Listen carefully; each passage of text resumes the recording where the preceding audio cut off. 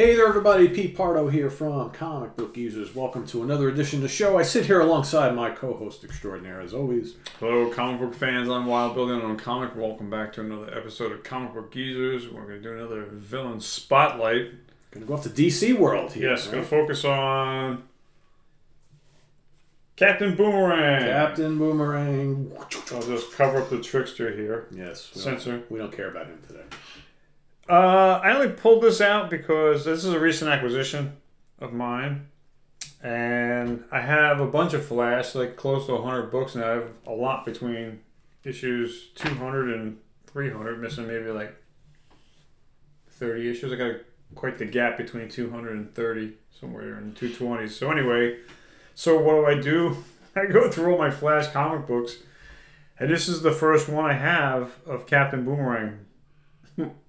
I think my oldest is like in the 160s. I have a, So he, but he's like an old, old. he first appeared in issue 117, Okay, yeah. and uh, I had some notes here on my phone so I wouldn't forget, and I'm forgetting already.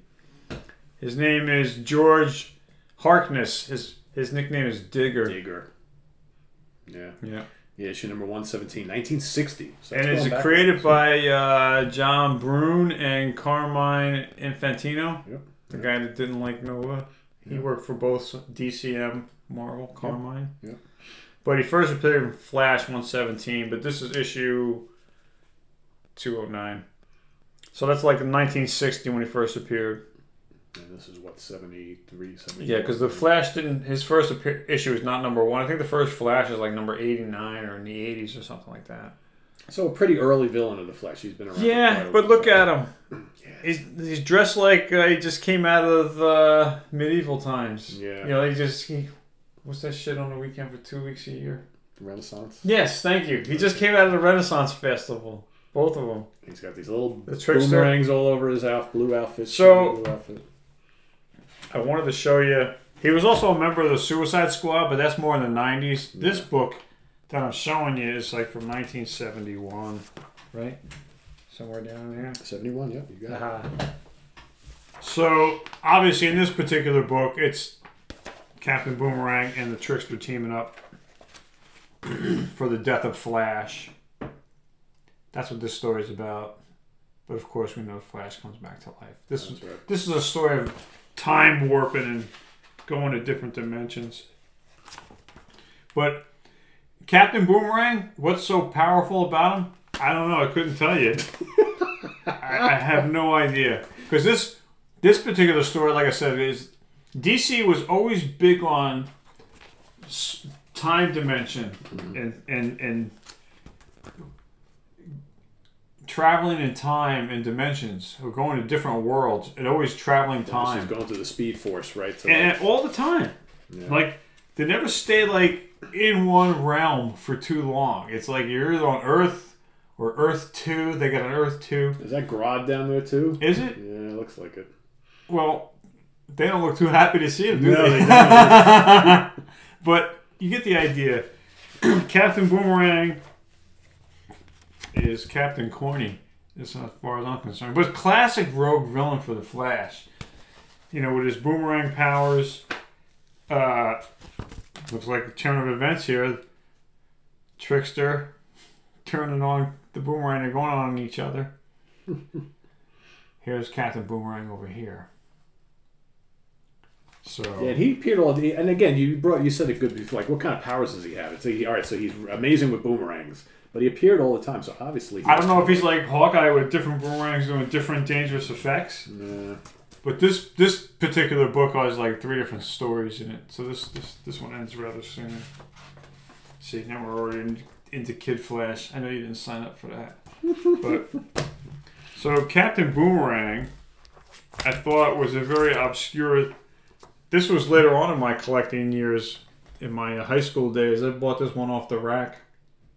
This was one of towards the end of my collection, of my Flash collection. I think my last was like two ninety seven. It's two seventy eight. This is two seventy eight.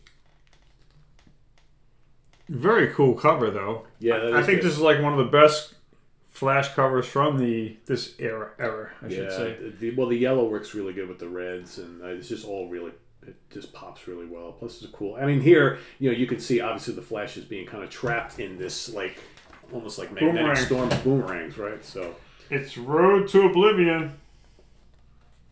Alex Saviuk, artist, artist. and I don't, know, I don't know either one of them. F. Charmante, Charmante.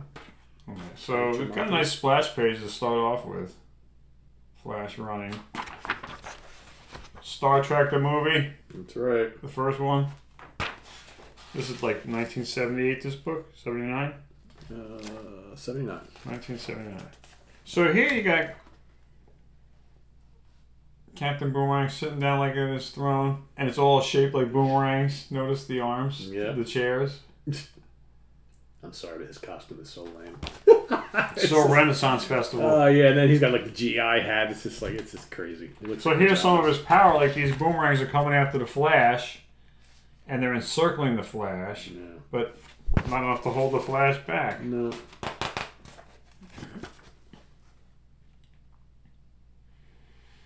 But I figured it.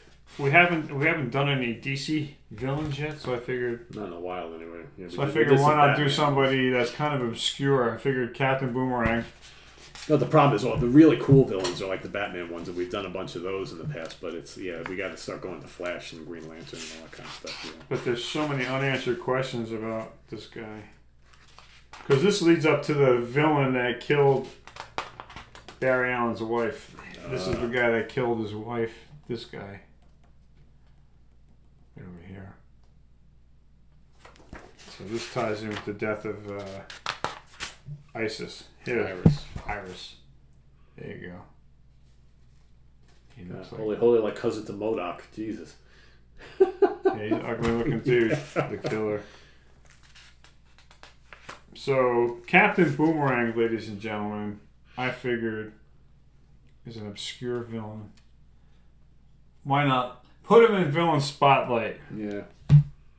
Actually, since he's been around so long, he's really not that obscure. But That's- just, but yeah. Very obscure. He's only in two. I got almost hundred issues of Flash. He's Ah, so only obscure, in in, it's obscure in your collection. I got it. Obscure. Okay. Obscure in the real Flash world, right?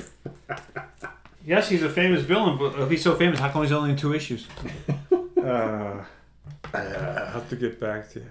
Anyway, that's Captain Boomerang, George Digger Harkness. Yeah, Digger. Just call him Digger. Digger. Now, what does digging have to do with throwing boomerangs? How about Chucky I couldn't. Digger? How about throw? How about swinger? Slasher? How about boom? Boomerang? Hook? You know? Digger. I don't get it, man. I don't know. I, I, I didn't make it up. Or lefty, you know? Lefty would be good. Yeah. Toss. Yeah, sure. Zippy. Yeah, throw. you know, toss, you know? I don't know. Chuck. Anyway, Captain Boomerang. There you go. There's another villain spotlight. More DC stuff to come, so stay tuned for that. Anyway, as always, you know what to do. Click the like button, send us some comments, click the subscription button, notification bell to be kept in the loop every time we got a new video. Tell your friends, uh, and thank you for the word of mouth, and thank you for your comments. And as always, we'll see you next time. Gonna finish up some story arcs with the Avengers uh, inside the cover to Avengers 31 coming back. That's right. Next, Next. episode. So stay tuned for that and lots more. I am Pete for Wild Bill. See you all real soon. Bye. Take care. Bye.